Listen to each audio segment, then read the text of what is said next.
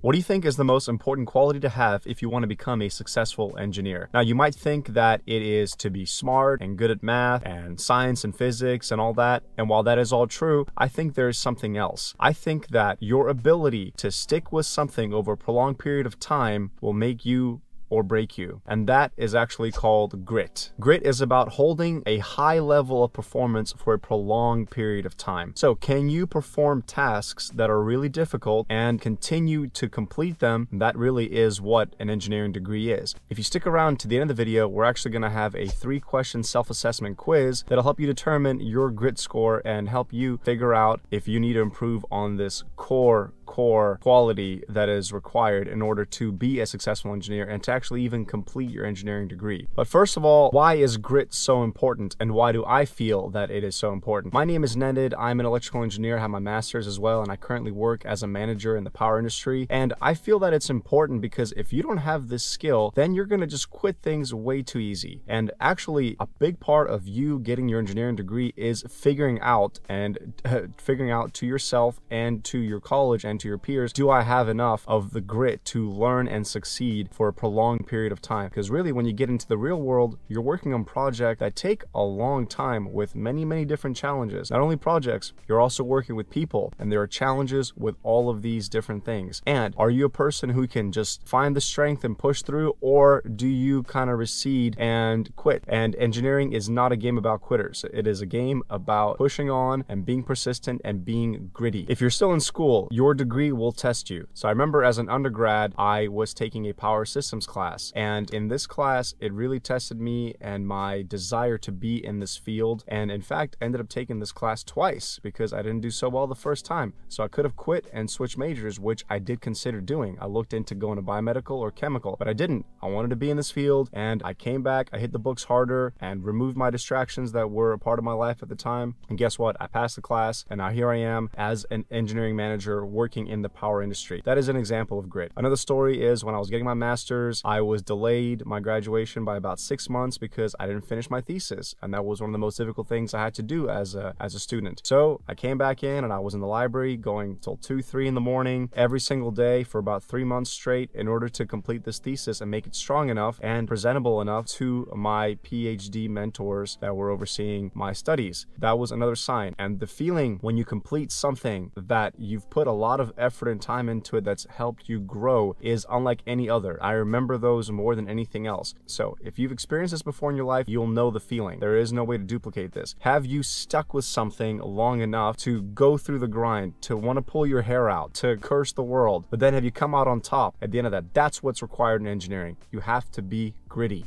Now, don't fall into the talent trap, okay? Oftentimes, we see successful people and all you see is that last little story. So, such and such just sold their company for $100 million.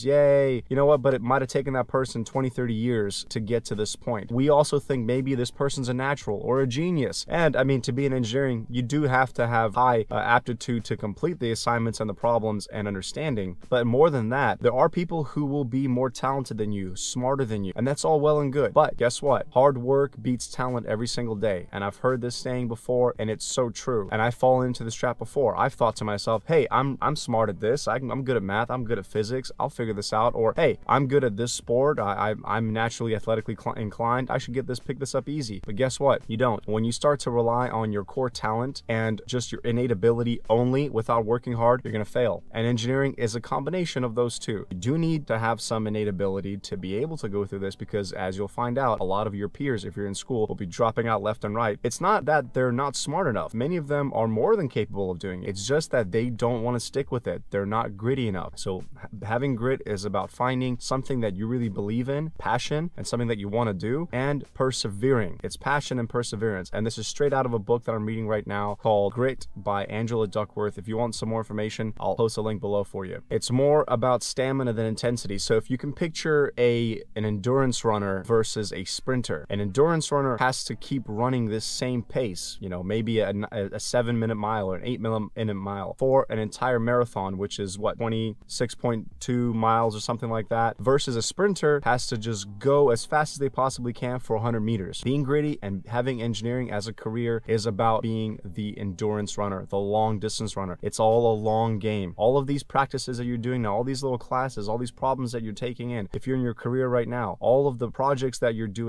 all these new experiences that you're receiving, those all help you succeed in the future, which ultimately is what will help you get hired if you're looking for an engineering job when you get when you graduate, and what will help you increase in your career to where your earnings get to a point where you can live a comfortable lifestyle. It's an endurance race. It's not a sprint. So if you start something and you're still working on it in a year, that's grit, right? If you quit it after a week or a month or so, that's not. Many times people have a grandiose idea of, hey, I'm gonna get my myself in shape this year. So what do they do in January? All the gyms are full. People go to the gym and they start working out. Well, guess what? That might only last for two weeks. The gyms start to decrease. If anybody's ever been a member of a gym and seen this phenomenon, it's incredible. The gyms are full in January, maybe February, but by March, April, May, they start dwindling down. Okay, so people have left. They're not passionate about it. They have this idea that they want to get in shape, but they're not willing to sacrifice and commit. So from Angela's book, there is a grit test that you can take to determine how gritty you are. But I've actually broken it down for our purposes here in the engineering career field, and I've broken it down to three questions. Follow along with me and ask yourself these questions and take the self-assessment quiz with me right now. So for each statement, rate yourself from one to five, where one is not like me at all, two, rarely like me, three, sometimes like me, four, often